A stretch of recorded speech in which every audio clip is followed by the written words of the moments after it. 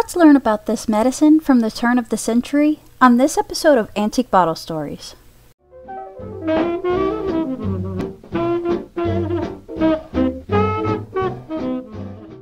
William Burr Caldwell was born in 1839 in Missouri.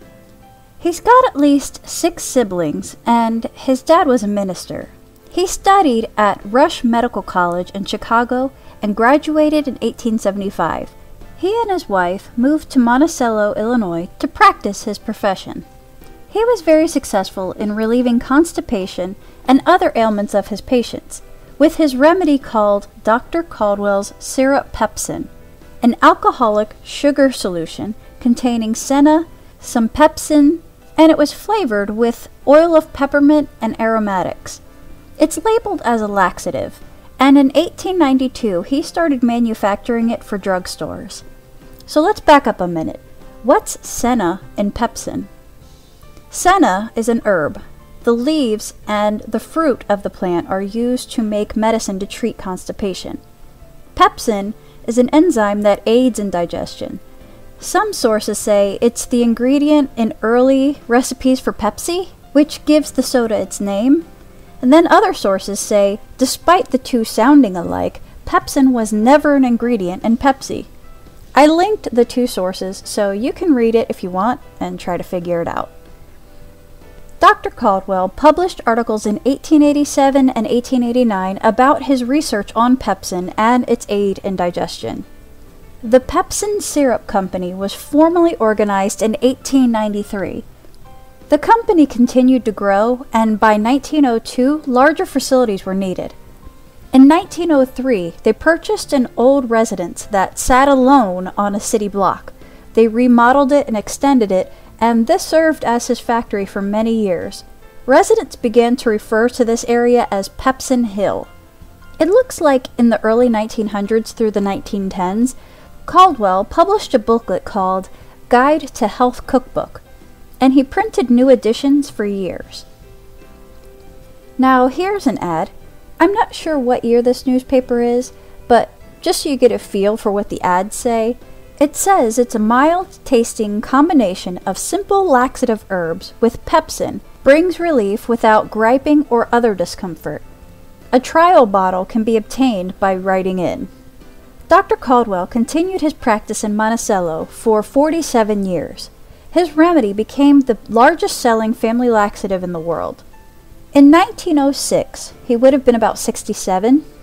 He sold his interest in the medicine to the Pepsin Syrup Company which was headed by a guy named Alan Moore. It seems that Alan Moore had a team of employees working together in this venture, and they expanded the building again in 1914, 1919, and 1924. In Caldwell's obituary, it mentions that in 1916 he was injured and required one of his limbs to be amputated. It didn't say which one, but he fully recovered.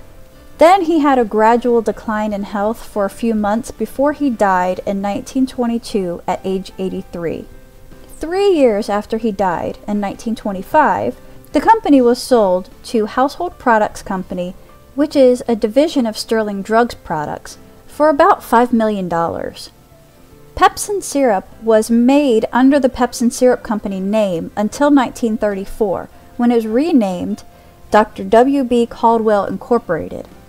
Fast forward 50 years, and in 1984, Sterling Drugs announced that they had signed a contract selling all trademark rights and inventories to Mentholatum Company of New York, who then closed the Caldwell plant in October 1985. A newspaper article from 2005 says the building was almost 121,000 square feet. It was four stories tall on the eastern production side, and it once housed a gymnasium, a full service employee cafeteria, and an ornate entryway with marble walls and a staircase. But after it closed, it rapidly deteriorated. The roof started to fall apart, and the owner didn't do anything to preserve it.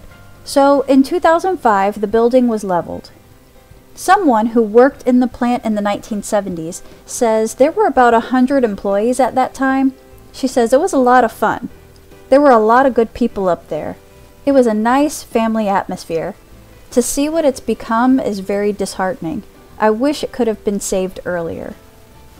I found another article from earlier in 2020 that the city plans to rebuild on that property. At the time, I don't think it had been quite decided on what they were building. Large quantities of Caldwell's bottles were produced by Illinois Glass Company.